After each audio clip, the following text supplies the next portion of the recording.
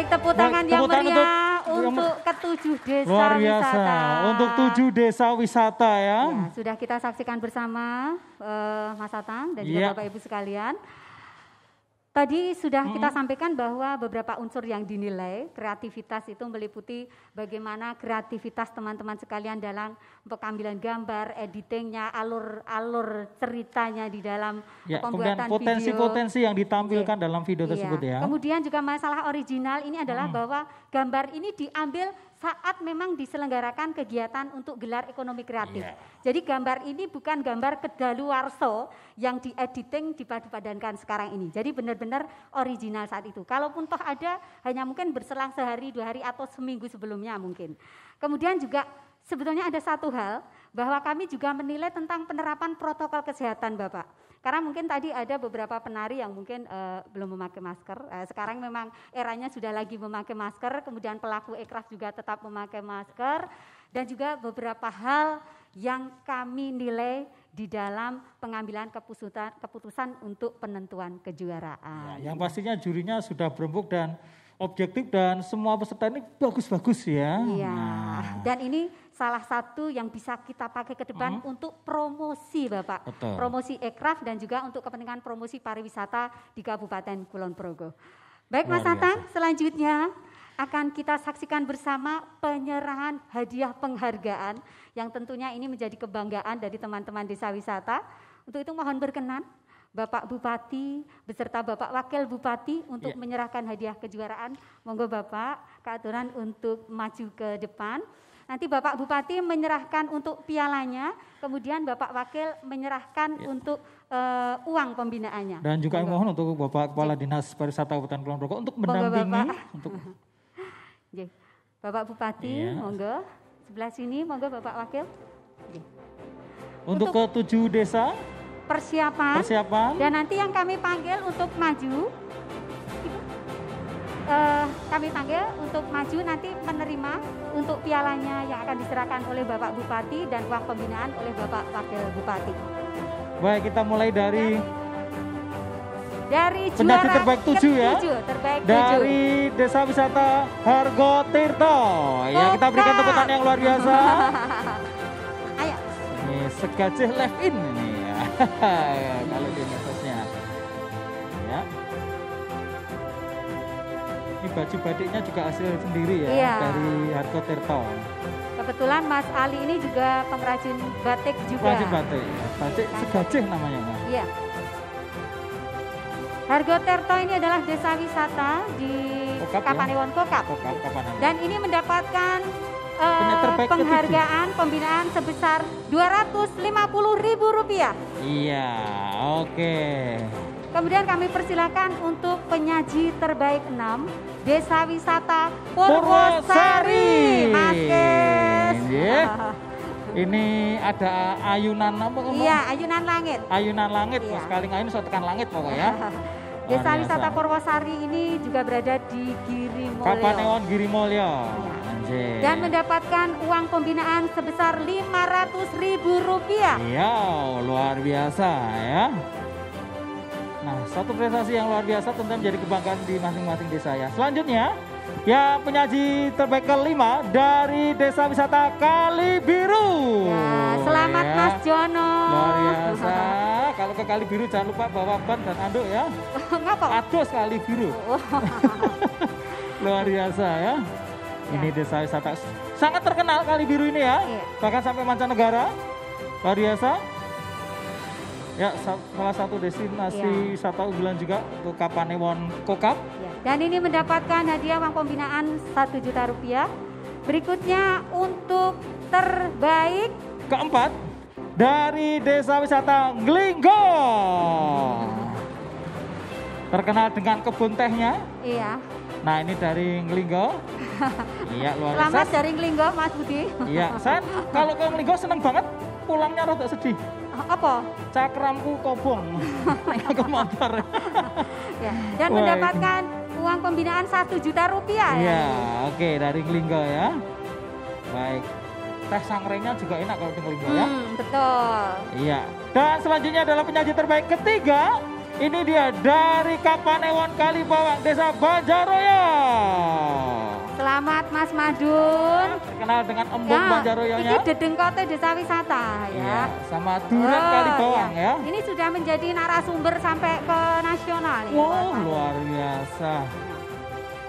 Ya, kapan-kapan kita agendakan ke Embung Banjaroyo. Iya, betul. Bawa pancing Mojo Lali. Dan uang pembinaannya sebesar Rp1.500.000 Iya. Dan selanjutnya penyaji terbaik kedua ini dari Desa Wisata Tinala. Tinalah Purwoharjo, Purwoharjo, Kapanewon. Sabi. Selamat Mas Bambang. Ya, semoga Dengan ini Dewi Tinalah kalau nggak Iya. salah destinasi wisatanya ya. Nah, ini. Ya, Dan- camping ground ya. uang pembinaannya sebesar Rp2.500.000 rupiah. Iya. Dan selanjutnya ini ada penyaji atau best awardnya penyaji terbaik pertama Yeay. dari Kapanewon Girimulyo, Desa Jatimulyo. Piye Mbah? Yo, ini Mas Gasuk ya. Mas Gasuk. Iya, ini masih terahnya Sugriwo Subali ini ya.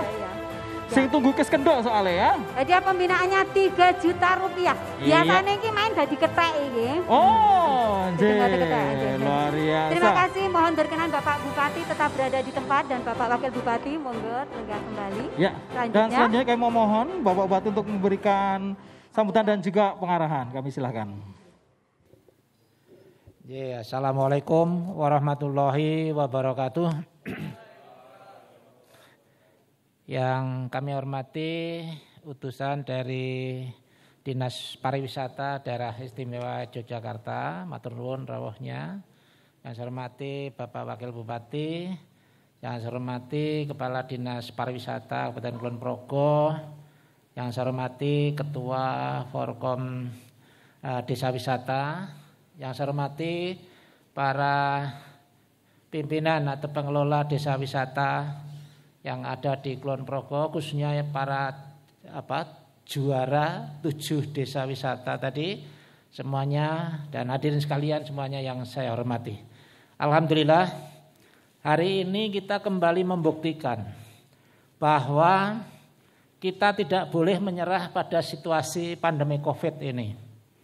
Saya sangat mengapresiasi, sangat menghargai kreativitas yang dilakukan oleh teman-teman di Dinas Pariwisata Kabupaten Kulon Progo, di mana ketika PPKM di, uh, harus dilaksanakan, maka destinasi wisata di Kulon Progo otomatis mentaati kemudian memang memang harus menutup atau tidak menerima wisatawan secara langsung secara fisik untuk tidak datang di destinasi-destinasi wisata tersebut. Dinas pariwisata ternyata mempunyai kreativitas sehingga kegiatan tetap berlangsung tetapi tetap mentaati protokol kesehatan, ketentuan-ketentuan di masa pandemi Covid-19 ini. Maka ini menurut saya meskipun Anda ada pandemi ini, tapi kita jangan sampai kehilangan pandemen. Boleh ada pandemi tapi kita jangan sampai kehilangan pandemen. Pandemen yang uh, mencintai destinasi-destinasi wisata yang biasa mengunjungi objek-objek wisata dan lain sebagainya. Jadi dengan cara inilah maka sebagai seba- salah satu upaya supaya meskipun ada pandemi kita tidak kehilangan pandemen wisata. Nah, oleh karena itu sekali lagi kami mengapresiasi dan ini langkah yang sangat tepat supaya eh, pembinaan dan pengembangan dunia pariwisata di Kulon Progo ini tetap terus berjalan. Tidak boleh ada stagnan eh, aktivitas untuk apa pembinaan dan pengembangan wisata ini. Saya sangat mendukung apalagi ide kreatif yang ada di dari Kulon Progo Salam Sambanggo ini ternyata sudah menasional. Betul yang disampaikan oleh kepala dinas bahwa ketika ada acara rapat koordinasi dan acara tingkatnya nasional meskipun secara virtual. Menteri Parekraf kita, Bapak Sandiaga Uno, itu salamnya Sambanggo. Dan itu salamnya dunia pariwisata Kulon Progo. Nyambangi gisik, nyambangi gunung, nyambangi gawe. Kalau urut Jawa, go itu ya itu nyambangi telu-teluning aksara go nyambangi maka sambanggo nyambangi uh, apa huruf go tiga huruf go itu adalah gisik gunung dan gawe. Gisik gunung dan gawe itu adalah apa namanya ya potensi ekonomi apa pariwisata dan ekonomi kreatif. Kita punya potensi wisata di pantai Gise. Gise itu kan gambarannya adalah pantai. Kita punya pantai yang 23 km panjang pantai kita. Itu potensi wisata. Dan gunung 34 persen wilayah Kulon Progo inilah di pegunungan. Yaitu pegunungan Merah yang memanjang dari selatan ke utara di sisi barat wilayah kita Kulon Progo. Ternyata di sepanjang pegunungan Menoreh ini banyak potensi-potensi wisata. Saya sering mengatakan wisata ini kan unsurnya, unsur pokoknya itu dua. Yaitu apa namanya? culture sama alam itu apa? nature. Nature sama culture. Dua unsur utama ini dimiliki semua oleh 34 apa namanya eh, persen wilayah Kulon Progo tadi, yaitu sepanjang pegunungan Menoreh. Nature-nya luar biasa, karunia Allah Subhanahu wa taala.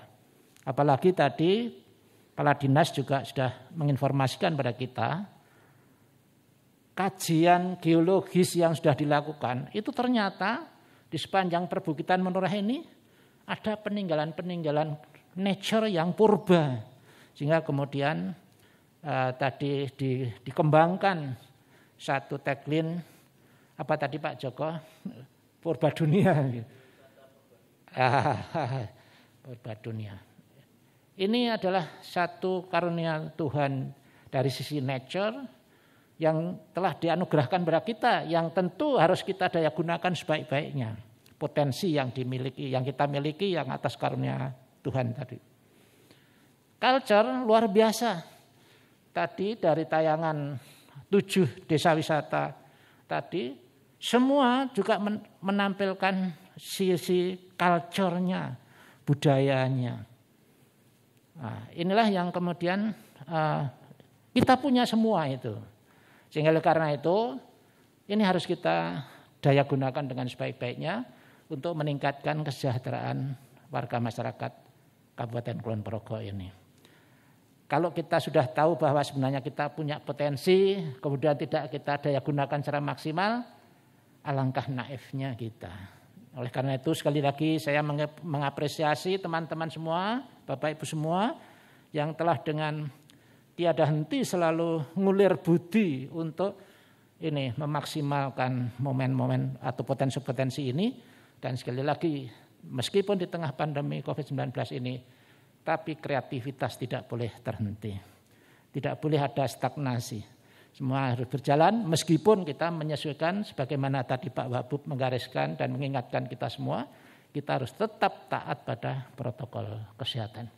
Baik, terima kasih. Itu saja selamat kepada tujuh desa wisata yang telah luar biasa. Kita beri aplaus tepuk tangan yang luar biasa kepada teman-teman pengelola desa wisata ini. Maju terus, jangan sampai kemudian patah harang. Yang belum juara, anggap saja ini sukses yang tertunda. Nanti lain waktu bisa. Kemudian yang sudah menjadi juara terbaiknya itu, mohon untuk tidak sombong, tidak takabur. Ingat, setinggi apa pun gunung di dunia ini, di atasnya masih ada langit. Pria, terima kasih. Banyak salam kami mohon maaf. Sekali diapresiasi pada semuanya. Matur nuwun. Wassalamualaikum warahmatullahi wabarakatuh. Waalaikumsalam warahmatullahi wabarakatuh. Sambanggo. Monggo. Matur nuwun, matur nuwun, matur nuwun. Ya, terima kasih Bapak Bupati yang telah menyampaikan sambutan sekaligus arahan dalam kegiatan ini. Dan masih akan kita saksikan satu kali lagi nanti pementasan ini. Ini Ya, ada persiapan kita pentas sendratari ya. Sendratari Sugriwa Subali yang ini dikemas dalam Kes Kendom Rahaswara. Ya. Yang biasanya kegiatan ini pentasnya adalah di Gua Kes Kendom. Gua Kes Kendom, ya. ya. Tetapi ini tadi itu adalah plan A. Plan A-nya. Ketika tidak dalam masa pandemi Betul. Covid, kemudian eh, apa? Memang kondisinya eh, tidak seperti sekarang ini, tetapi ketika ini kita bikin plan B, maka untuk pentas sendratari ini pun kita buat, mohon izin Bapak, kemarin ini kita saksikan nanti adalah tapping. Tapping ya. Jadi kolaborasi antara tapping dan juga sekaligus nanti ada pementasan yang langsung. Betul. Jadi dikombinasi. Tapping sudah kita lakukan, Di- pengambilan gambarnya kemarin di Taman Budaya Kabupaten Kulon Dan Progo. tetap dengan prokes yang Iya, ketat ya. dengan protokol juga yang sangat ketat. Bahkan sekarang ini, Mas Hmm. Atang, penarinya, kalau dulu mungkin eh, kita masih eh, oke lah pakai topeng, topeng topeng. pengganti masker. Tetapi untuk yang sekarang ini tidak lagi pengganti masker. Tetapi betul-betul walaupun pakai topeng, tapi juga Tetap ada maskernya ya. memakai masker karena mungkin topeng tidak bisa menggantikan masker. Betul. Jadi fungsinya tetap berbeda gitu. Iya. Jadi eh, banyak apa eh, inovasi-inovasi baru di dalam masa pandemi Betul, Covid. di masa Ya. pandemi ini sehingga bagaimana menyajikan tapi tetap dengan prokes ya. Iya, dan juga yang jelas kegiatan ini seperti tadi, walaupun masa pandemi tetap berjalan sesuai dengan rencana karena ini salah satunya untuk menggerakkan ekonomi para seniman. Betul. Jadi seniman ya. pun juga tetap mendapatkan haknya sesuai perencanaan. salah satu yang berdampak Ya. di Seperti COVID ini kan seniman. Iya, ya. kamu juga kan. Ya, saya saya sebelum Covid aja udah berdampak. Oke. Baik, sebelum nanti akan kita saksikan bersama seperti apa eh, penampilan dari teman-teman seniman dan nanti hadir hanya lima seniman loh mas. Lima seniman Ya, yang enam, langsung di enam. sini. Enam, ya yang langsung di iya. sini ya. Enam yang langsung live Kolaborasi adalah dengan ya, tappingnya. ya. Yang live hanya enam, ini adalah tokoh-tokoh inti. Kemudian yang lainnya nanti bisa kita saksikan untuk para eh, penari-penari rampak itu nanti dengan tapping. Dan ini Namun- adalah salah satu inovasi penyajian di Iya, masa pandemi ya. Karena betul. le- lebih sulit loh dengan kolaborasi antara live dengan tapping itu. Wah, Iya, ini betul. inovasi yang luar biasa. Tapi sebelumnya kita akan foto bersama dulu Bapak. Bersama fotonya berdiri di tempat. Kemudian yang teman-teman desa wisata nanti pialanya diangkat, pengambilan gambarannya dari sini Oh, ya, dari sini. dari depan. Nah. Dan ini dokumentasinya karena kita nggak bisa foto bersama berkerumun, Iya. jadi tetap di tempat mohon berdiri. Ya. Bapak, pengambil gambar bisa- dari depan, teman-teman, ya, Iya, teman-teman untuk pialanya diangkat ya. Iya. Duitnya diangkat ya kena ben ketok nek oleh 250.000. Eh, yes, luar biasa. Mungkin ada eh, apa mau dipekikkan Bapak? Oh, sambanggo iya, saja. ya. Didokumentasikan ya. Ngagem mic Bapak nyun sewu. Oh, foto dulu saja. Foto dulu, Nggih, nggih. nggih. Oke, siap. Ini masih posenya pose serius. Enggak apa-apa, diangkat. nggih. Diangkat. Nah. Angkat setinggi-tingginya seperti cita-cita kalian. Wah. Baik. Ya, ini fotografernya kita datangkan langsung dari Korea ini ya. Ya. Nah, fotografer kok ngono kae ya, malah salah Oh. fokus, gagal fokus yang dadi foto. Iya. Monggo. Monggo. Monggo. Iya. Luar biasa. Oke, terima kasih. Monggo dipersilakan duduk kembali. Ini kayaknya yang kebingungan Mbak Fitri. Baru kali ini mendengar istilah sambanggo ya Mbak Fitri ya. Nggih, Nah, sudah jenengan di atas. Oh iya, oh ben, agak- ben dhuwure Nah, podo ya. ini Aku kan berasa sangat menjadi kayak liliput bersama Atang. Baik Bapak Ibu hadirin yang kami hormati, selanjutnya kita saksikan bersama persembahan Sendratari Sugriwo Subali dalam kegiatan Rahaswara. Mahaswara. Selamat menyaksikan. menyaksikan.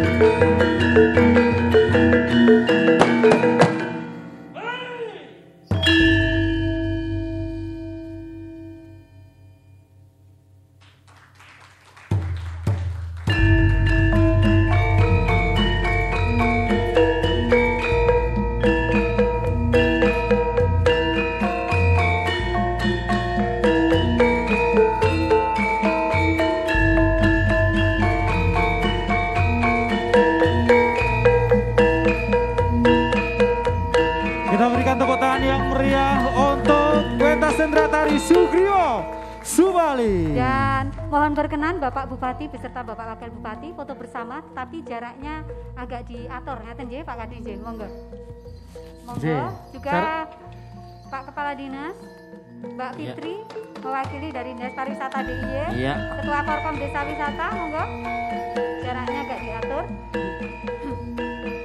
Sesuai dengan prokes ya. Ya. Ya, dan seperti kita sampaikan Hmm. tadi Mas Atang, Ya. bahwa untuk pementasan Sugriwa Subali ini konsepnya konsep baru ya. Jadi perpaduan antara tapping dan juga live. Di Betul. mana untuk tapping yang menari adalah para penari rampaknya. Penari rampaknya Ya. dan juga para wiyogato pemusiknya yang typing. Iya, kemudian yang live ini Tokoh eh, utamanya ya yang tokoh ada di utama sini. Sugriwo, Subali, Lembu Suro, Maiso Suro dan juga Dewi Toro. Iya. Jadi ada lima tokoh utama yang eh, tampil secara langsung. Dan mereka juga menggunakan masker loh ini loh mas. Oh. Walaupun pakai topeng nih gue masker loh mas. Tadi Atang. sampaikan sama Pak, Hmm. Pak Joko ya bahwa menggunakan masker ini atau topeng juga lebih praktis dan efisien. Ngirit juga katanya. Ngirit rasa hayas. Kafe. Golek wong ayu ya ora kangelan ngono mau. Kalau pakai topeng kan aku wani daftar dari Dewi Toro. Oh. Iya, oke ini ya. Baik, terima kasih. Diper Silakan Iya, untuk Kang. duduk kembali. Terima kasih kepada seniman seniwati. Tepuk tangan. Tepuk tangan yang meriah, luar biasa. Penari seniman seniwati ini adalah seniman seniwati Kabupaten Kulon Progo. Iya, oke. Baik, Bapak Ibu hadirin yang kami hormati, dengan demikian berakhir sudah acara kita pada siang hari ini dan seperti tadi kita sampaikan, kita konsep tidak lebih dari, Dari dua dua jam, jam, dan ini tidak sampai dua jam, masih kurang dari dua jam dan alhamdulillah para peserta yang hadir pada acara ini sehat semuanya, semua. tidak ada yang terpapar. Semoga insya Allah ke depan kesemuanya sehat semuanya. Amin. Amin ya rabbal alamin. Dan Mas Atang, Ya, kita Indah, akhiri kita akhiri semoga ya acara di hari ini ya. Dan besok masih ada acara. ya besok masih juga ada Iya. acara Eh, mungkin bisa kita saksikan untuk besok Iya, sore. Oke. Dan untuk acara siang hari ini apabila kami dari panitia penyelenggara khususnya dari Dinas Pariwisata ada banyak kekurangan dalam penyelenggaraan, mohon maaf yang sebesar-besarnya. Kami haturkan terima kasih yang tak terhingga ke hadapan Bapak Bupati Kulon Progo, Bapak Wakil Bupati Kulon Progo yang telah berkenan hadir, Mbak Fitri mewakili dari Dinas Pariwisata Daerah Istimewa Yogyakarta, Ketua Forkom Desa Wisata dan sangat luar biasa tepuk tangan untuk teman-teman Desa Wisata Kulon Progo. Semoga acara ini bermanfaat untuk kita semua. Akhirnya saya Indah, Dan saya datang di Long. Ya, Kita undur diri diri. terlebih dahulu ya. ya, kita akhiri sekian. Assalamualaikum warahmatullahi wabarakatuh. Salam pesona Indonesia. Wonderful Indonesia. Terima Konggo kasih. Terima kasih.